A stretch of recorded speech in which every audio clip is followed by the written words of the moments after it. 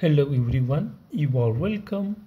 Today we have a new interesting algebra math problem which is x plus 4 times x plus 5 times x plus 6 times x plus 7 divided by x minus 4 times x minus 5 times x minus 6 times x minus 7 is equal to 1. So we will try to find the value of x and all the possible solution of this algebra math problem how can we solve this interesting algebra math problem? Now look into the numerator here the sum of 4 plus 7 it is 11 and this 5 and 6 is 11 so therefore we will combine these two expressions and these two expressions. And in the same way in the denominator we will combine these two expressions and these two expressions. So this left hand side will become this will become let us combine the first the last expressions this will become x plus 4 times x plus 7 times let's combine these two expressions. So this is x plus 5 times x plus 6 divided by and in the same way we can write this denominator as this will become x minus 4 times x minus 7 times x minus 5 times x minus 6 is equal to 1. Now let's multiply the expression inside the braces. So this left hand side will become, this will become x plus x times x square plus x times 7 is 7x plus 4 times this expression is this is 4x plus 4 times 7 is 28 so this will become 28 times uh, this, this expression will become x times x is x square plus x times 6 is 6x plus 5 times x is 5x plus 5 times 6 is 30 divided by this will become x times x is x square minus 7x minus 4x and negative times negative is positive 7 times 4 is 28 so this will become plus 28 times this will become x times x is x square minus 6x minus 5x and minus 5 times minus 6 is plus 30 is equal to 1 so let's further simplify the expression in the numerator and denominator. So this will become this is x square plus 7x plus 4x is 11x plus 28 times this will become x square. 6x plus 5x is 11x and this is 30 so we can write this 30 as this is 28 plus 2 divided by and the denominator will become this is x square minus 7x minus 4 is minus 11x plus 28 times x square this is negative 11x and 30 can be written as 28 plus 2 is equal to 1 look into the numerator and denominator. In the numerator this expression and this expression is same. And here in the denominator this expression and this expression is same. So therefore this left hand side will become. So here we'll make some supposition.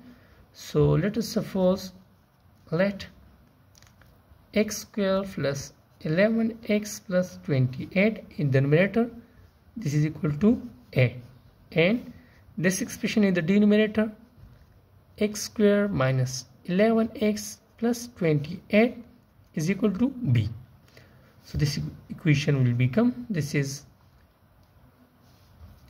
a times a plus 2 divided by b times b plus 2 is equal to 1 then we'll take this expression to the right hand side. So this will become this will become a times a plus 2 is equal to b times b plus 2 so let's simplify both sides. So this will become a times a is a square plus 2a is equal to this is b square plus 2b then we will take this expression to the left hand side. So this is a square this will become minus b square plus 2a minus 2b is equal to 0 now this is a square minus b square so this is an algebraic identity. So here in this expression we will use an algebraic identity.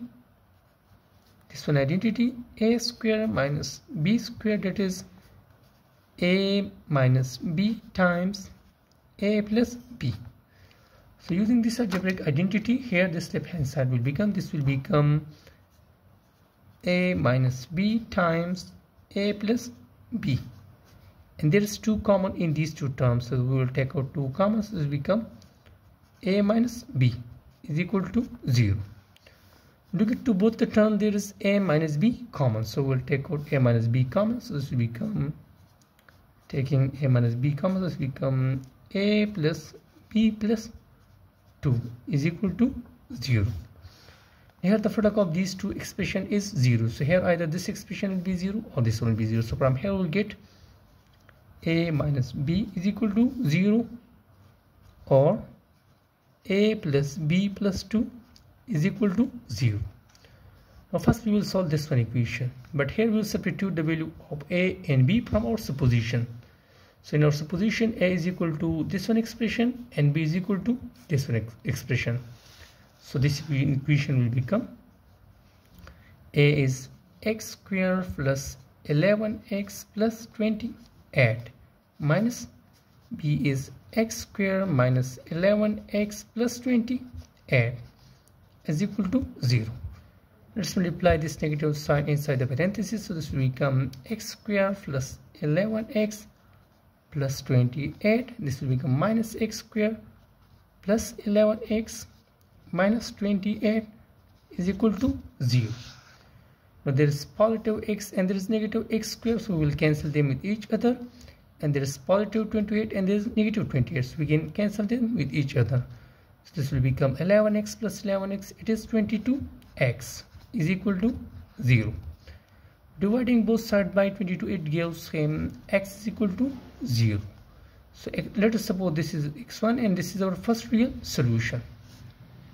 Now we'll try to the solve the second equation. That is a plus b plus 2 is equal to 0 so we'll solve this one equation here. So our equation is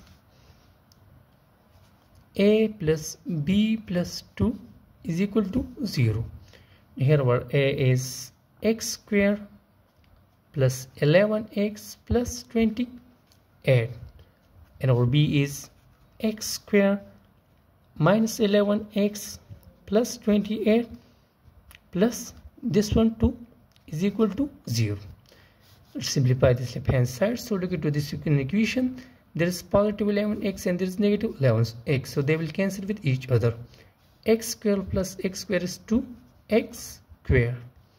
And 28 plus 28 is 56 56 plus 2 is 58 so it will become 58 is equal to 0 now we'll take this 58 to the right hand side. So this will become 2x square is equal to this will become negative 58 dividing both sides by 2 this gives him x square is equal to 58 divided by 2 it is simply minus 29 here we will take square root on both sides to find out the value of x so x and square root will be cancelled so it become x is equal to will become plus minus we can write this negative 29 as 29 times negative 1 and this is plus minus square root of 29 times square root of negative 1 square root of negative 1 is a complex identity i.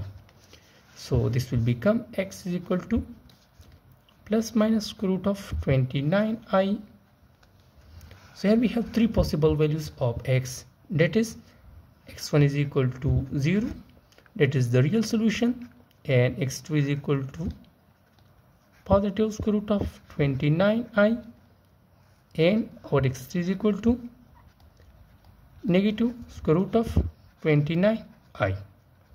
So finally we have these three possible solutions in which one is real and two are complex. And last don't forget to subscribe my YouTube channel for such a more interesting and step-by-step -step math solutions. Thanks for watching.